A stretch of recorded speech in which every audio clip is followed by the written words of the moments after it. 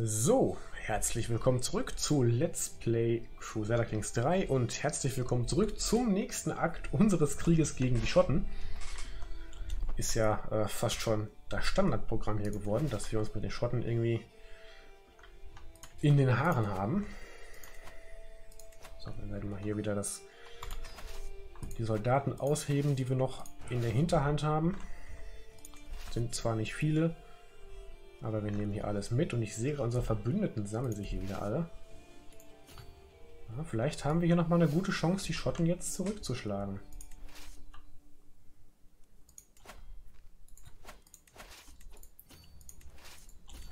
Aha, er sucht auch schon die Konfrontation hier. Jetzt wird hier vermöbelt werden. Außer die machen sich jetzt ganz schnell aus dem Staub.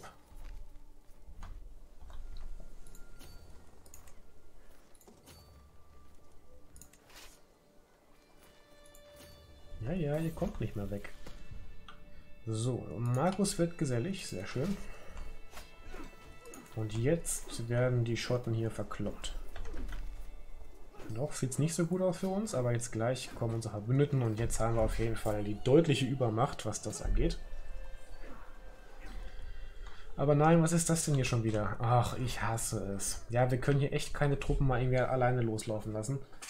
Ohne dass wir da gleich ein paar auf die Nase kriegen. Aber, oh, wir haben den König gefangen genommen. Ne, den Neffen vom König haben wir gefangen genommen.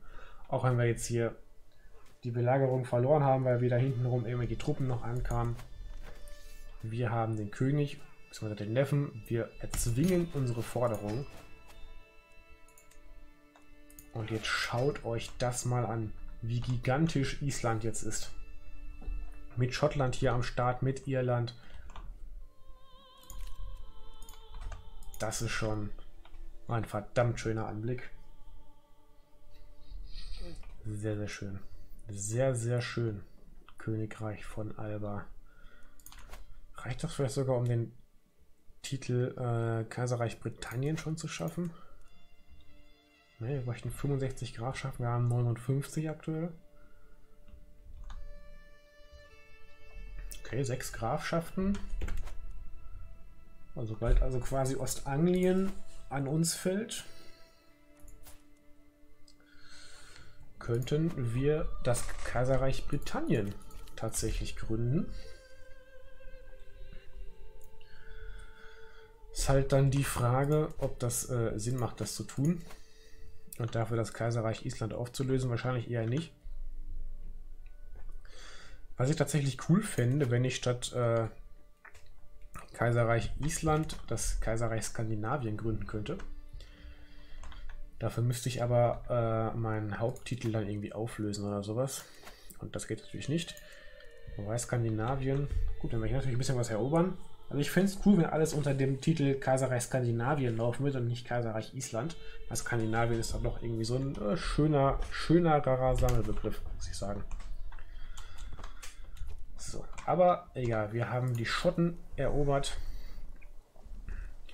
Haben natürlich eine relativ schlechte Volksmeinung wegen des Angriffskriegs und wir haben vor allem in Schottland mit Sicherheit bald ganz viel Stress deswegen. Ich würde gleich schon mal hier meinen äh, Kollegen Rats, äh, wie heißt er, Verwalter losschicken, um hier die Kulturen zu fördern.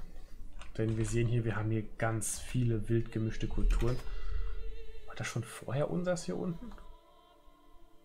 Ist das jetzt auch uns zugefallen deswegen? Oder war das vorher? Das war noch nicht vorher schon unseres, oder? Na, da muss auf jeden Fall mal schauen, dass wir das hier in den Griff kriegen. Also England wird eine sehr heiße Nummer werden. Auf jeden Fall. Wir werden jetzt hier mal schauen, was hier so an Kulturen rumrennt. Nordisch haben wir hier unten. Walisisch, Angelsächsisch und der Hauptteil ist Gälisch tatsächlich. Und von der Religion her ist es hier unten nordchristlich und hier oben katholisch. Das heißt, wir werden hauptsächlich gälisch-katholische Populisten haben und vielleicht ein paar angelsächsische. Das heißt, wir werden zuerst mal die angelsächsische Kultur hier oben in Northumberland äh, ja, vertreiben, sage ich mal. Damit wir schon mal keine angelsächsischen Populisten mehr haben. Da müssen wir jetzt mal schauen. Wahrscheinlich haben wir trotzdem jetzt überall natürlich noch katholische Herrscher drin, ne? Mhm.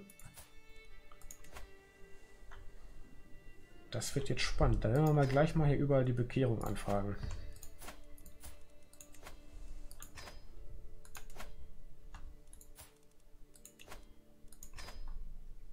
Da werden wir gleich mal, können wir es nach Häusern, man kann es auch nach Häusern sortieren, oder? Äh, Herzogtümer, Häuser. Gut, das hat natürlich mal gar nichts gebracht.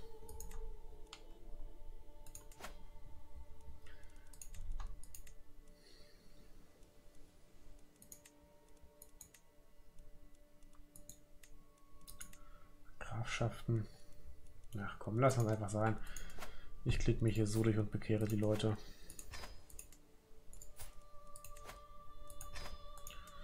Sieht sogar ziemlich gut aus, die alle zu bekehren, muss ich sagen. Den haben wir schon verlangt. Hier haben wir noch eine. Aber ihm sieht es nicht so gut aus. Bei ihm haben wir sogar ein Druckmittel, der wird auf jeden Fall bekehrt. Hier haben wir noch einen, den wir bekehren können. Aber ihn hatten wir schon versucht. Bei ihm haben wir es noch nicht versucht. Hier haben wir auch noch jemanden.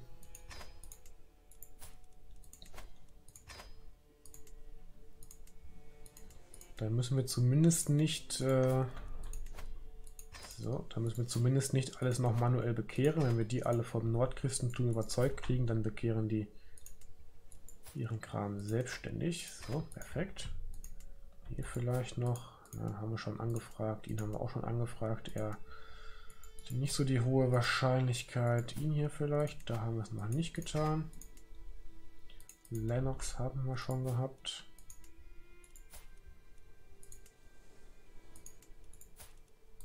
Ihn können wir noch fragen.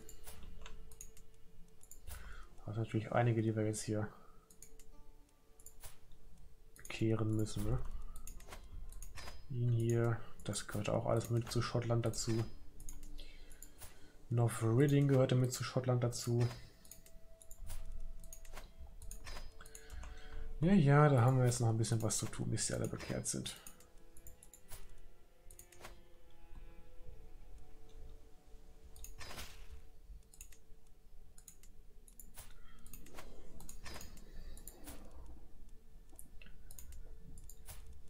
Fehlt noch, muss ich sagen, so eine Ansicht, wo ich dann wirklich von allen sehe. Wobei ich kann es gleich in Vasallen-View. Wobei, nee, kann ich nicht sein, ich meine Vasallen. So, Priesen sei Gott oder so.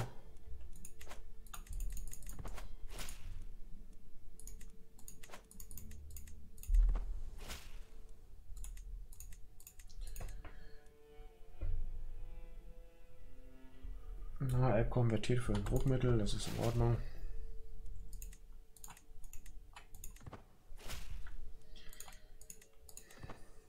So, haben wir jetzt alle durch. Das finde ich klasse, wenn das so wäre.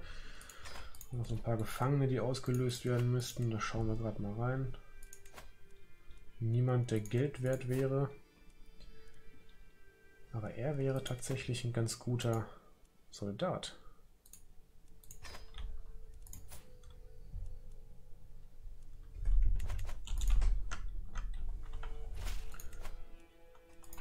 So, jetzt könnten wir mal schauen hier bei seinen Vasallen. Nordchristlich, nordchristlich, nordchristlich, nordchristlich, nordchristlich. Sie ist nicht nordchristlich. Verlangen wir das nochmal. Er ist nordchristlich, sie ist nordchristlich. Okay, also seine Vasallen sind alle nordchristlich. Hier ist noch einer, der nicht nordchristlich ist. Ich werde kurz bei seinen Vasallen überall unten mit noch reingucken. Damit wir die alle bekehrt kriegen. sind natürlich enorm viele Leute, die wir jetzt bekehren müssen. Hier ist noch einer nicht bekehrt. Der ist auch noch nicht bekehrt.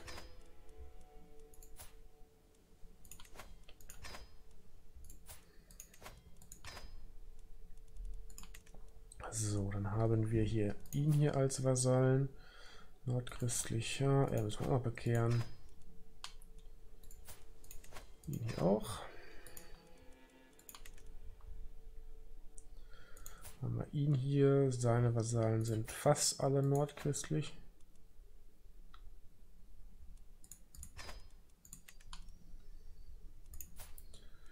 Siehe hier fünf Vasallen, nordchristlich, nordchristlich, nordchristlich, nord... Na, er nicht, er ist katholisch, aber ihn können wir nicht... Ach, okay, bei ihm hat es nicht geklappt. Können wir ihn einkerkern. Kerkern ihn ein, dann haben wir ein Druckmittel, dann können wir damit bekehren, hoffe ich. So, jetzt müssten wir bei ihm noch in die Vasallen schauen. Die sind aber beide nordchristlich. Dann haben wir ihn hier, er hat keine Vasallen. Er hier hat auch keine Vasallen. Gut, hier unten werden wahrscheinlich keine. Doch, hier sind noch Vasallen drin. Ihn müssen wir noch bekehren, beziehungsweise sie. Sie müssen wir auch bekehren. Gott, sind das viele. Er hat keine Vasallen. Und, ja, ja. Dann müssten wir jetzt alle haben. Wir können jetzt gleich wieder ganz viele Dialoge wegklicken. Ja, gepriesen sei Gott, finde ich auch. So. Die gute Dame, die nicht konvertieren wollte, haben wir jetzt im Kerker. 50 Gold oder ein Druckmittel. Wir nehmen, wir können die Bekehrung nicht. Sie, will Freiheit, sie sogar zu konvertieren. Das ist religiöser Eiferer natürlich, ne?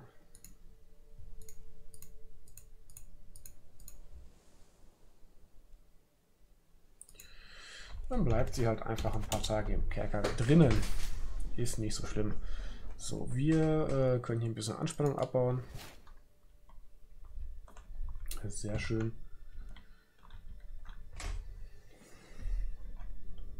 Und äh, dann warten wir mal ab, wann die ersten Fraktionen sich hier auftun werden in England. Das kann eigentlich nicht lange dauern.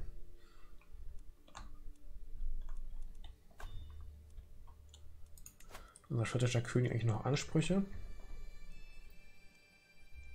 Ja, Folgeansprüche auf die Bretagne. Wer ist denn der Herrscher der Bretagne? So, sein Großvater. Das fällt dann aber an ihn. So, denn wir beseitigen ihn vielleicht. Na, egal, wir lassen das mal bleiben. So, wir können noch Leute aus dem Kerker verkaufen. Das machen wir auch. Vielleicht hat sich die junge Dame ja schon überlegt, für ein Druckmittel zu gehen. Nein, noch nicht. Aber ist sie jetzt bekehrt? Ah, sie ist jetzt bekehrt. Okay. Dann äh, kann sie sich gerne freikaufen. Gar kein Problem. So, wir haben ein verfügbares Dynastievermächtnis. Das ist sehr schön. 45 sind wir mittlerweile schon alt. Unsere Frau sitzt im Kerker. Bei ihm hier.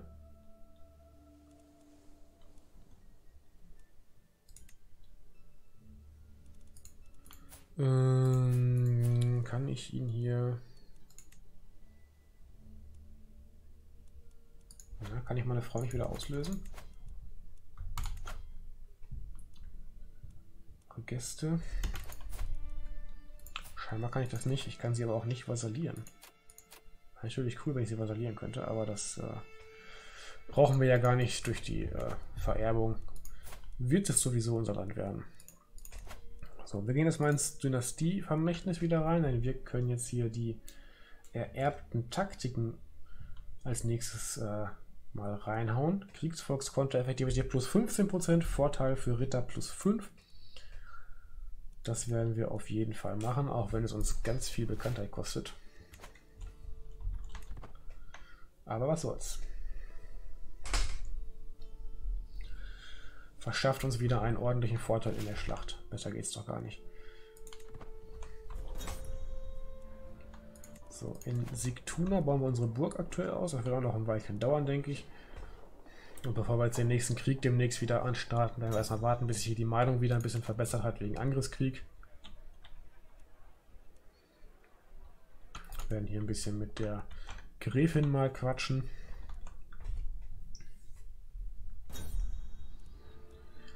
Ja, und wenn ich mir so die Karte anschaue, dann sind die nächsten Ziele ja eigentlich relativ klar. Wir müssen ja das Lappland uns wiederholen. Wir haben einen weiteren Enkel bekommen. Wir nennen ihn äh, Frodi. Ja, aber schnell, wir müssen das Lappland zurückbekommen. Werden uns anschließend dann hier an den Dänen rächen. Und uns hier unser Land wiederholen.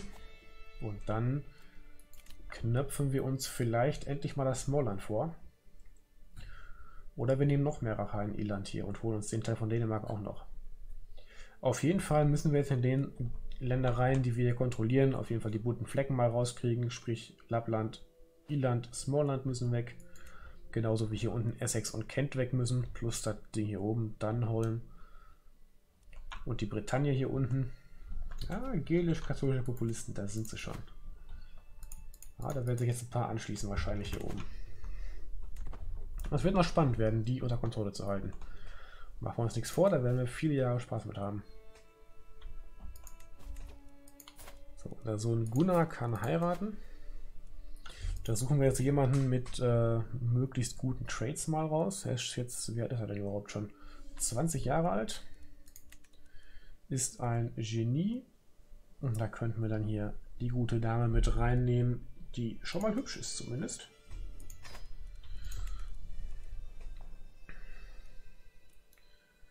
Da hätten wir, denke ich, mal schon. Ja, und hier unsere Tochter auf dem Thron. Und obwohl ja der König von Schottland ziemlich blöd ist, ist das Kind dennoch ganz clever geworden. So wünscht man sich das doch.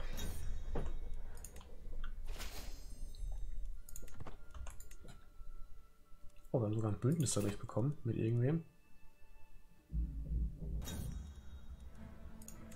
Ah, 900 Mann, okay.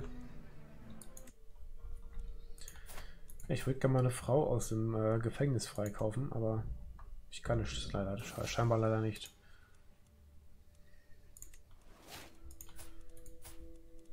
Geschenke schicken. Ja, ich habe keine Möglichkeit, sie freizukaufen, wie es aussieht. Sehr schade.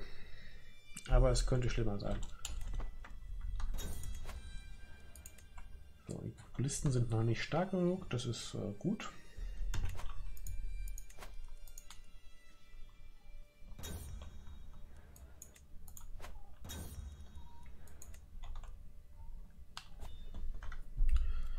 Ja, im Großen und Ganzen würde ich sagen, läuft es doch ganz gut. Können noch Titel schaffen und so ein Kram. Das werden wir aber nicht machen fürs Erste. Können Falki hier zu einem Gerichtskampf auffordern. Ja, das lassen wir aber bleiben. Brauchen wir nicht. Und mich wundert, dass in die Fraktion der gelischen Populisten sonst keiner mit eingestiegen ist bisher. Ich hätte jetzt erwartet, dass da gleich äh, großer Andrang herrscht. Aber scheinbar ist das nicht so. Gut, mir soll es recht sein. Ich will mich nicht beschweren, dass es ruhig ist.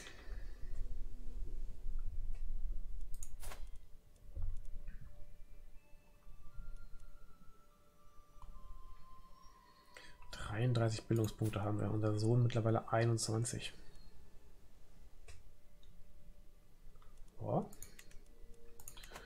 Schon ganz solide, würde ich sagen. Auch mit den Haustruppen kommen wir gut durch. Elf Jahre dauert das noch.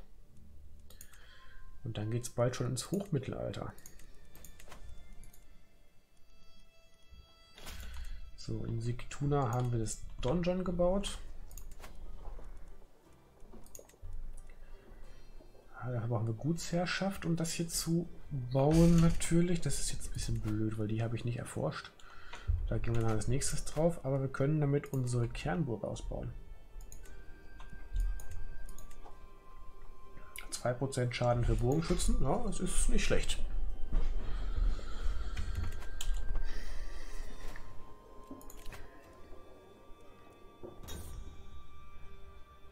Kaiser Volki und ich, äh, was ist das hier überhaupt? Fürst Falki. Warum sollte ich das machen? Das lassen wir mal schön bleiben. So, aber was ich gerade sagen wollte, unsere Hauptstadt wäre natürlich dann auch äh, ziemlich schwer einnehmbar mit Festungsstufe 7 und einer Garnison von über 1000 Mann. Da haben wir auf jeden Fall eine gute Hauptstadt dann äh, auf der Habenseite stehen.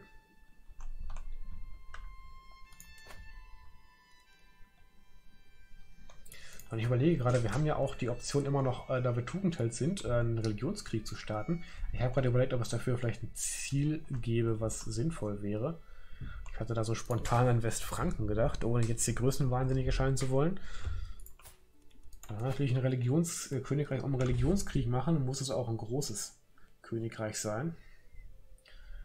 Von daher sehe ich da schon Westfranken eigentlich oder natürlich Lothringen könnten sogar versuchen, die zu vasallieren. Bei Lothringen würde es nicht gehen.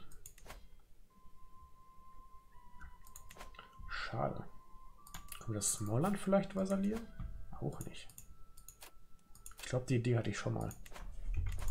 Aber Lothringen ist natürlich noch ein Stück schwächer. Ah, gucken, vielleicht. Wir sind ja erst knappe 40, würde ich sagen, oder? Oh, 46 schon. Okay, wir sind doch ein bisschen älter, als ich dachte. Vielleicht äh, starten wir hier irgendwie nochmal einen Religionskrieg oder sowas.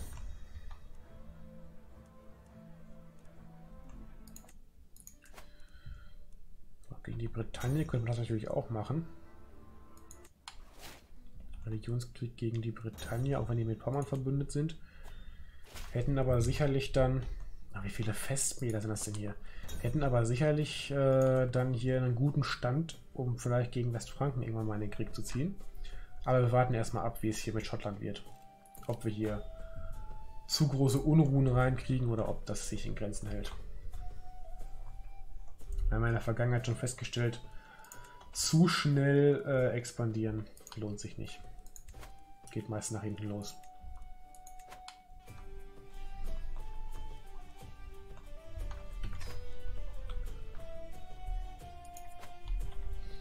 Auch, was ich gerade so sehe, sehr spannend. Wir sind fast im Jahr 1100 angekommen. Also wir sind jetzt schon in 1099, bald ist es die 1100. So, wir können die Kontrolle nicht mehr weiter erhöhen. Wahrscheinlich ist da wieder irgendwie Theater. Ne, tatsächlich nicht. Dann machen wir jetzt hier in Helsingland nochmal weiter. Dass wir vor allem hier unsere Kernregion stabil haben. So, eine gefährliche Fraktion gegen uns. Und das sind natürlich nicht die Populisten, sondern es ist ein Bauernpöbel. Von Södermannland. Ja, das Södermannland. Da hatten wir doch schon mal Ärger mit. Aber das ist ja grün, aber die hier hinten sind nicht grün. Ja, da machen wir erst da die Kontrolle. Dann halt erst da hinten.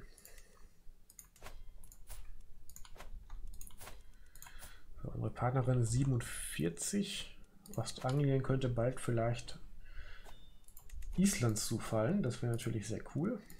Haben wir einen neuen Ratskanzler, setzen wir ihn hier ein. Das ist die beste Wahl, die wir haben.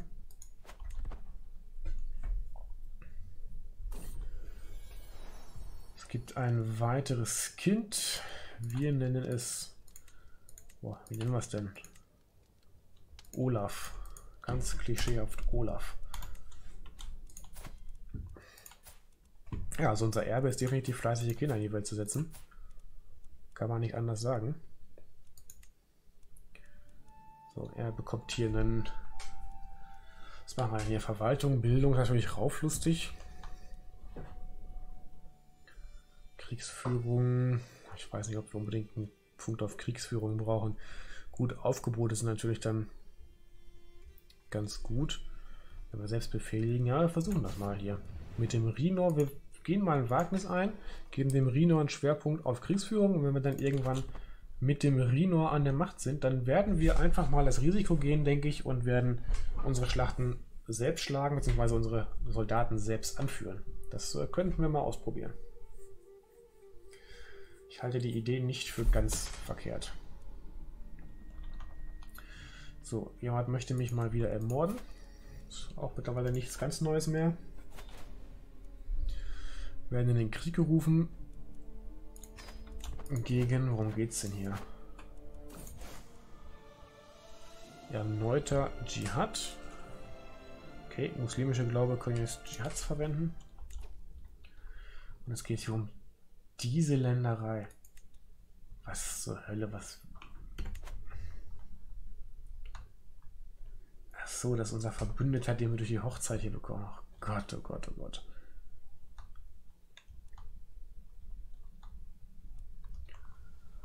Ja, offensichtlich müssen wir da wohl mitkämpfen. Machen es einfach und heben lokale Armeen aus. Oh, das sind aber viele, wenn er schon geteilt wird.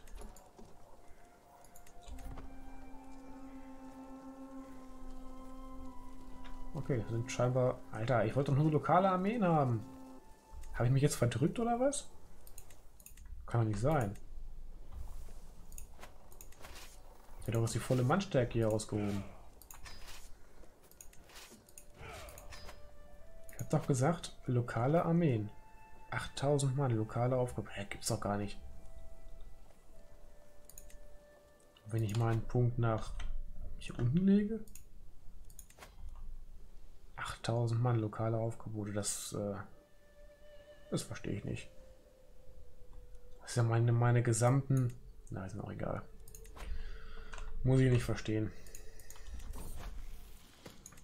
Wir lassen es einfach so. So, Markus ist erwachsen geworden. Wir suchen ihm eine Partnerin mit schönen Traits, wobei er ist ein Genie, sie ist fruchtbar. Wir verheiraten die beiden, auf dass es viele Kinder gibt. Das kann, denke ich, nicht schaden. Und wir können dann natürlich äh, neben Rino auch Frodi jetzt unterrichten. Er ist kränklich, der Gute.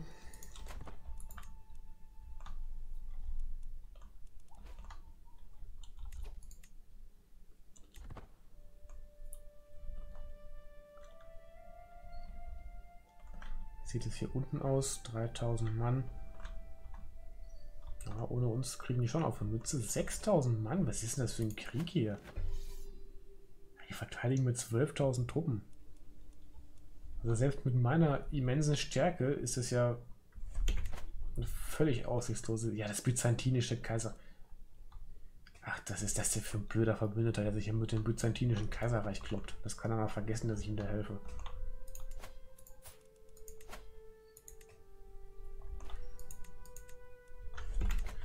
die eigentlich nordchristlich hier? Tatsache, die sind nordchristlich. Cool. Oder was heißt cool? Das heißt natürlich, dass wir keinen Glaubenskrieg gegen die anzetteln können.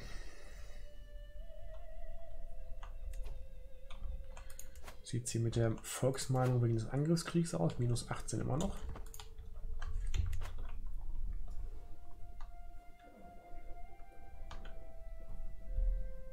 Wir lassen das Spiel mal einfach ein bisschen laufen. Der Bauernpöbel beginnt einen Krieg. Das Mordkomplott wurde aufgehoben und wir schauen jetzt mal, wo der Bauernpöbel pöbelt. Hier unten sind ein paar und hier sind ein paar. Wir werden unseren Sammelpunkt hier rüber verlegen.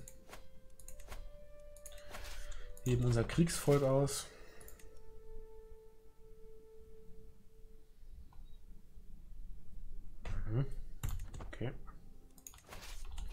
Ja, die schiffen schon ein, die wollen schon weg, dann marschieren wir die hoch. Wenn die sich dann hier gleich treffen, dann können wir sie schön in Empfang nehmen. Lebenswandelvorzug, wir gehen auf den Gläubig-Teil noch mit drauf. Gucken, dass wir hier alles voll kriegen, vielleicht, das wäre sehr cool. Und dann äh, werden wir vielleicht noch einen Religionskrieg starten können. So, das nächste Enkelkind. Oh, Genie und hübsch. Sehr schön. Eine Enkelin.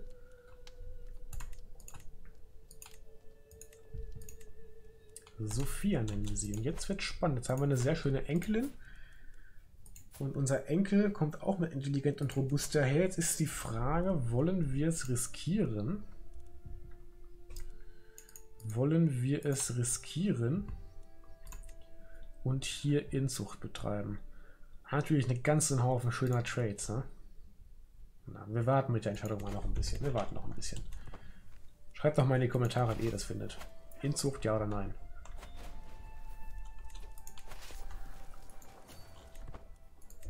So, erste Schlacht haben wir gewonnen. Zweite wird auch nicht mehr lange dauern.